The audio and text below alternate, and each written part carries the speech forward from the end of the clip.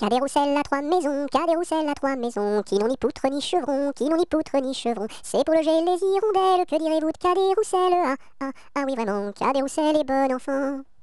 Cadet Roussel a trois gros chiens, Cadet Roussel a trois gros chiens. L'un court au lièvre, l'autre au lapin, l'un court au lièvre, l'autre au lapin. Troisième s'enfuit quand on l'appelle, comme le chien de Jean de Nivelle. Ah, ah, ah oui vraiment, Cadet Roussel est bon enfant.